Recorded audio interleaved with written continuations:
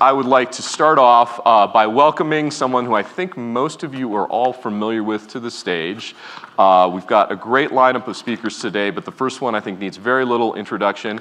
He created Linux, he created this thing called Git, uh, he created this great diving application that many of you may be unaware of. Uh, please welcome Linus Torvalds.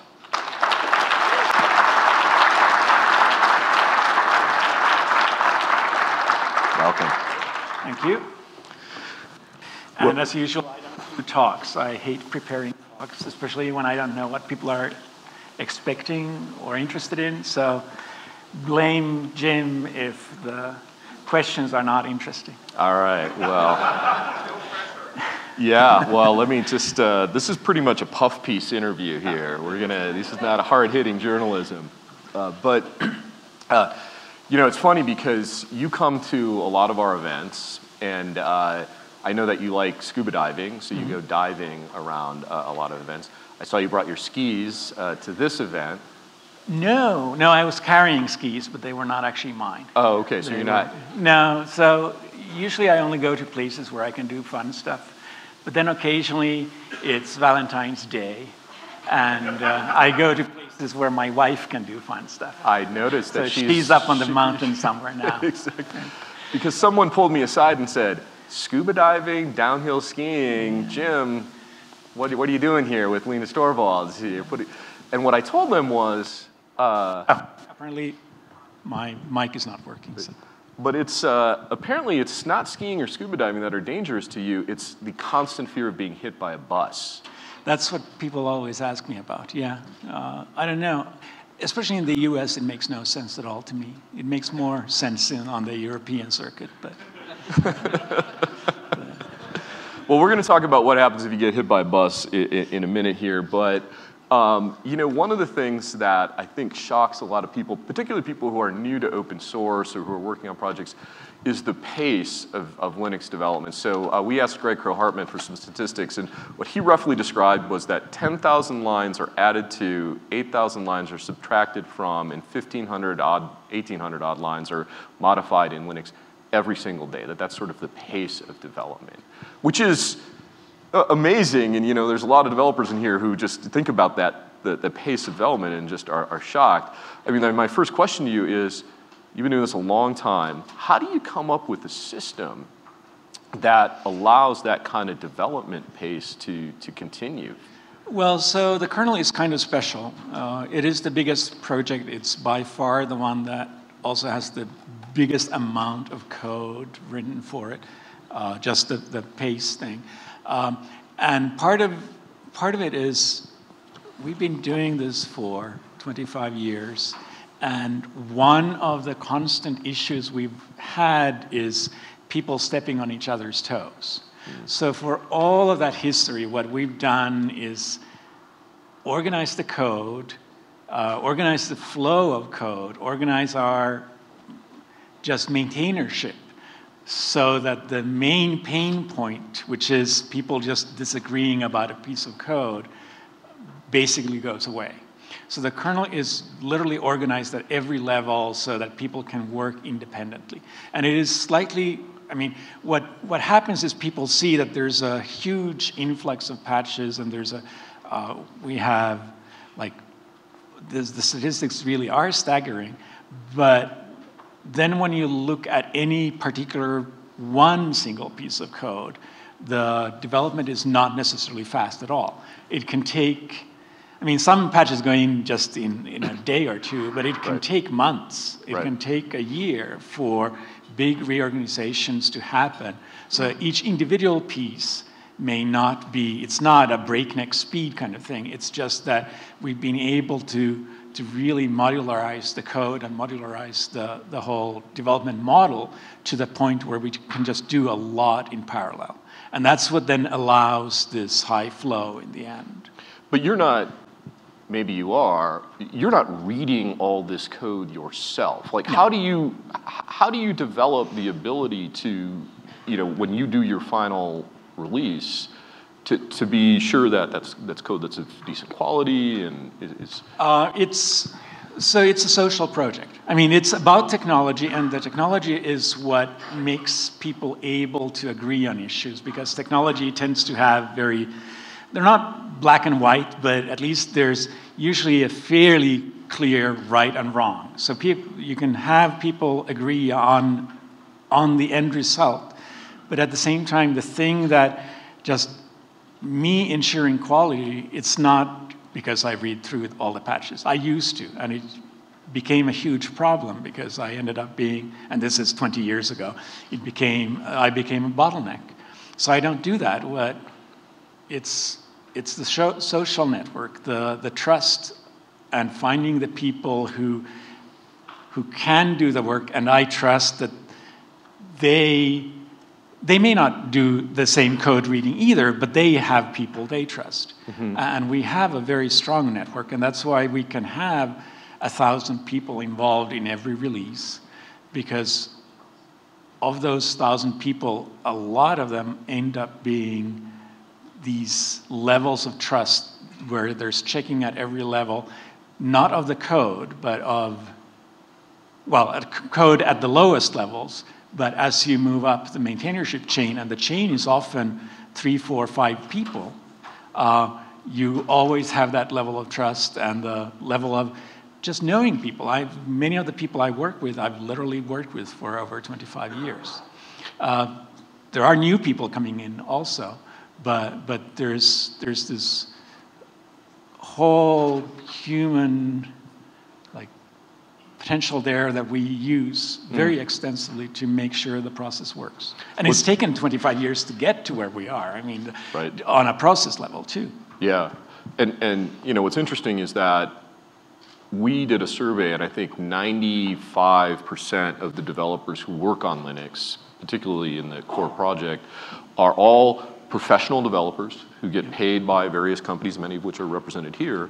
But the trust that you've built is with the individuals uh, in that project, yep. uh, and that's taken a, a, lot of time. Yeah, and it's very noticeable too when, when people move between companies. The trust does not stay with the company, the trust stays with the person. Yeah. And uh, obviously, it's not like people stay around forever. Uh, people come and go, and uh, and that's, I think, one of the reasons people sometimes think it's hard to get into the kernel is because you think you can just come in and shoot off a patch and go away, and that's not how it works. What really is takes time is to shoot off a lot of small patches until you reach the point where the maintainers trust you, and, and at that point, you become something more than just the guy who sends patches. You become part of the whole network of trust. Yeah, yeah, it's interesting. You know, we have some uh, projects. Cloud Foundry is a, an interesting project in that they use a pair programming technique, uh, which is an interesting technique out of Pivotal Labs, where developers are programming together, same code, two screens, in order to kind of accelerate that trust and, and, empathy that you know you, in the kernel takes right. a long time. I mean, the kernel is kind of odd, and what we do does not necessarily always make sense in other settings. Mm-hmm. Uh, just the fact that we, for example, cannot have people sit next to each other mm-hmm. uh, just means that we have to work differently than you necessarily would do in, in, in some other company. Or maybe there's a lot of projects that are much more localized to than, than the kernel, even when they're open source and even when they use email or, or, or the internet to communicate. Most of the time, a lot of projects tend to be inside companies or maybe inside universities, or maybe it's just that there's a lot of like there's the trust came from previously knowing the person so there's a lot of advantage to being close by and being part of this um, like inner group and, and in linux we never had that and i attribute some of it to me being from helsinki finland which meant that most of the people by far that i could work with were all remote i mean right. i did not have the kind of uh, local group around me that you find from like some of the traditional Unix projects, like obviously the BSDs, which actually happened inside a particular university. Yeah, yeah. and you so also Linux in order to the, project in order to handle this pace. I, I love the social construct, but you also needed special tools, and right. so you created Git uh, to, to do that. And now we're in this, you know, what some people like to call the sort of post-GitHub era, where, you know, uh, yesterday I, someone from GitHub was here and shouted out that there are 50 million repositories on GitHub. Yep. And what advice do you give to you know GitHub projects? Uh, first of all, are you surprised about where Git has gone? And then what do you what what advice would you give to projects that are on Git in order to help them build trust relationships and to do this kind of work at scale? So on the surprise part, I'm really surprised by where Git has gone because obviously Git was written to be solve the problems we had in the kernel community. And nobody else or it looked for a long time like nobody else cared about the whole distributed environment and distributed development. And in fact, for the maybe three, four first years of Git, uh, one of the biggest complaints about Git was how it was so different and everybody had to learn something new and people hated it. I mean, people who came, who weren't in, inside the kernel and, and were trying to learn it after learning CVS or something like that. Right. And, and then I'm really surprised by how it switched, and apparently, really, people started seeing the whole uh, distributed development model and, and having companies like GitHub just taking advantage of the distributed development model and making it so easy to then host Git repositories which was never true if you don't have distributed. Uh, the problem with centralized models tended to be that you had exactly one point that was the central one, which means that it's really hard to trust a new or any hosting company, right? Because if you're a hosting company and you uh, you host the one centralized repository, you are so critical that it's it's really hard to even get there. Mm-hmm. And, and being distributed just meant that now it's much easier to be a hosting company and, and give services and value add. And, and what I'm trying to say is it really took a long time, and then everything, like within a year, it went from having a lot of people complaining about how it was different to just growing like mad. Mm. And, and it took me by surprise. And I'm, I'm, very pleased, obviously, because CVS has been around for way too long. And, uh, and there were a lot of other source control Sounds like it still is well, here. no, it, well, I mean, it exists, and I'm not trying to say CVS was evil 40 years ago.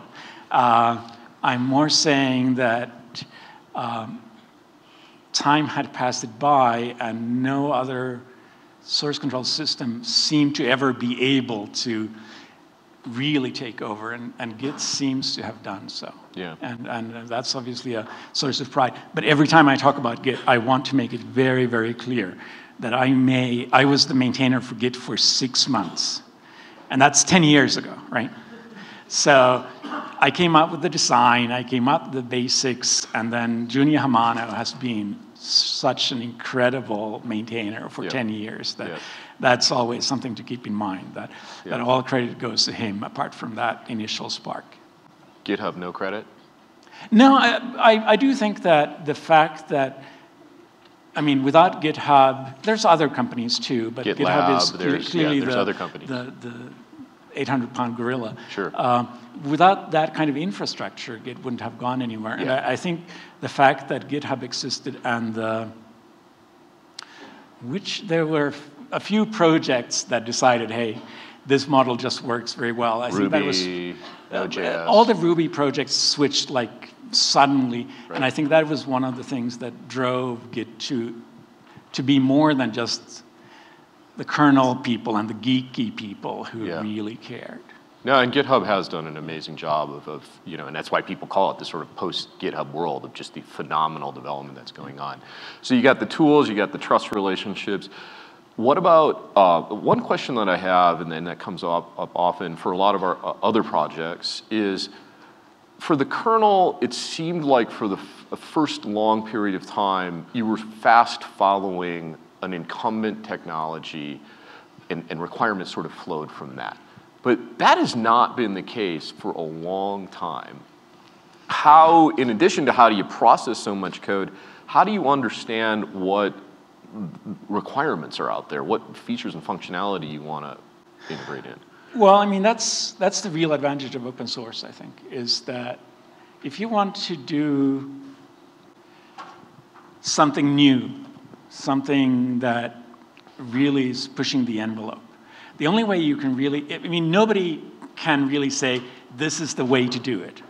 So what, what you need to do is just a lot of trial and error. And I often compare software development to biological processes where, mm-hmm. where it really is evolution. I mean, it is not intelligent design. I'm there in the middle of the thing, and I can tell you, it is absolutely not intelligent design, whatever you, you want to think. Um, you have to have, I mean, you have a lot of people who have their ideas of where things need to go, and then you need to have a marketplace where you can try them out. Mm-hmm. And that's where open source allows all these different groups to just go off, do their own thing, and then come back and say, hey, look, I did this and it actually worked. And that's very hard to do in, in any other environment because if you're inside a company, you can't afford to waste those kinds of resources. If you're inside a company, you can't say, okay, let's just explore this whole space and, and put 10 different teams on it and see what works. That does not work. I mean, I, I suspect a lot of companies have tried it, but they probably only tried once. Right. Uh, but in open source, that's literally what we do. Uh, in particular in the kernel, we have competing projects. Uh, we have a lot of code that never ever gets merged mm-hmm. because somebody went off, they cloned my tree, they did their thing, they could never get it to work, or they they could kind of get it to work, but it only worked for their very particular platform, which is fine too. Don't get me wrong. It's these niche things that never go anywhere else, uh, and that never get merged back because there's no point. And, but you did at one point, the kernel decided to do a long-term stable release and then have intermittent releases in between. It, what, what brought that decision about? So we've gone through so many different models, and uh, they've all had huge problems until we then figured out about 10 years ago the model we're on now, which seems to work really well. The traditional model is you you take three years to make a new release and you aim for a certain feature. Mm-hmm. I mean, there's usually many different features, but there's, there's a few flagship features that you know, that's what you're working on. And the reason it takes three years is it takes that long to get big new features done. And in, in the meanwhile, so you have this development tree that, that all the geeks are excited about and that does the new stuff, but it's also slightly unstable. So most of the traditional users tend to stay back. Mm. And that kind of worked, but it meant it, we did that for probably five, six years. Um, and it caused horrible problems when you then did the switchover because so much had changed. Uh, so few people had tested the development kernels because they were considered to be unstable. So only, only the most excited people or the most forward-thinking people, and there's very few of those, were testing development kernel in order to make sure that they worked for, for their workload. So whenever we then finished a, a stable release, we were always in huge pain. Yeah. And it just, it does not scale. It does not work. It's, it was, it was a disaster. But it took us a long time to figure out that it was so bad. Yeah. And then 10 years ago, and nobody believed this would work, literally. Everybody was like laughing in the room when at the Kernel Summit we said, I basically said, I want to have an eight week release schedule, two months, that's it, right? And, uh, and, and everybody knew I was like pushing for, for something unrealistically short so that maybe you could get it down to six months from three years, right? But, but you aim for two months in order to hit six months. And now we've actually done the the release cycle is usually two and a half months, and we've done it for 10 years, and it's lovely. It yeah. really works. It has avoided all the problems we've used to have. Um, it's solved so many things we didn't even know needed to be solved. So it's almost boring how well our process works. And I say almost boring because it's so much relaxing, more relaxing when process works. Yeah. All the really stressful times for me personally have been about process. They've never been about code. Mm-hmm. When code doesn't work, that can actually be exciting, right? That's, that can be fun. That can be the, okay, you hit your head on a wall for a couple of weeks and it can be very frustrating, but then when you solve it, the, the feeling of accomplishment is huge, right? I'm hoping people in the audience know that, right? Code, technical problems can be challenging and frustrating, but they're good things to have. Yeah. Process problems are a pain in the ass. you never, ever want to have process problems. And that's why I'm so happy that our process has worked for the last 10 years and, and hopefully will continue to work because that's when, when people start getting really angry at each other when, when the process doesn't work. Well, la- last question. You know, 10, 10 years is a long time, but you've been releasing the Linux kernel for 25 years. Uh, you know, i- i- it's just an amazing amount of fortitude for anyone to do the same thing for 25 years. I understand you took a six-month break. It sounds like to do this Git thing, uh, but. Uh, It was actually more just two months. I could do fair, Yeah. fair and a very short break for a minor, minor uh, effort. Uh, but the last question is sort of, you know, you got uh, uh, almost 900 uh, organizations that participate in all the different Linux Foundation projects here that are creating code at uh, in almost every aspect of computing. And these aren't just, you know, uh, uh, fast following projects. These are the core main projects for the automotive sector, the telecom sector.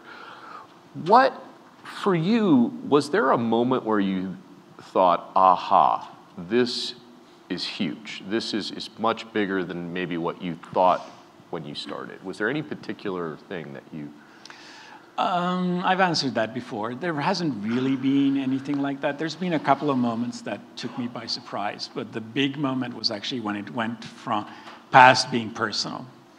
Like, and that was within six months of just releasing it. It was, I don't even know the people working on sending me patches, like know them personally. I mean, obviously, now I know them by email, but but there's a ton of people I've never met. And just going past that initial personal phase where the project was just for me, uh, I do want to kind of mention the whole 25 year thing. Uh, I'm a huge believer in uh, just the 99% sweat, 1%, oh, well, 99% perspiration, 1% inspiration Yeah. thing. Uh, any technology project the innovation that this industry talks about so much is bullshit. Innovation, anybody can innovate. Don't, don't do this big, think different. Don't do these big innovation thing. Screw that. It's meaningless. Like it, the, the 99% of it is get the work done, mm-hmm. right? And, and there are, I, I actually, that's my least favorite part of the technology like news cycle is this constant innovation and new ideas and this will revolutionize all that hype is is that's not where the real work is yeah, the real work is in the details and i'm obviously one of those people who just I like to concentrate on one project. I don't like flitting from one idea to another. And, and uh, you need the people who just flutter about and come up with ideas, but they're not the really useful ones. They're the ones who, who, who they end up being the ones who, who maybe give ideas to the people who then do the work. so I hope you guys, I mean, that's what anybody should take away from this talk is the people who actually do the work are the ones you should really listen to. And these days, I don't actually do the work anymore. I, I merge other people's work. But I, I'd like uh, conferences too to be less about the visionary innovation thing and more about the day to day. What are my problems and how do I want to solve them? well, always inspiring and depressing simultaneously. Mr. Torvalds. Uh, so I think what it's fair to say is, you know, real innovation happens when you uh, kind of get over yourself and, and sit down and, and do the work, which is fair enough. We, I, I think that's uh, sage advice. So thank you for coming. Uh, it, it's always a pleasure. Linus Torvalds.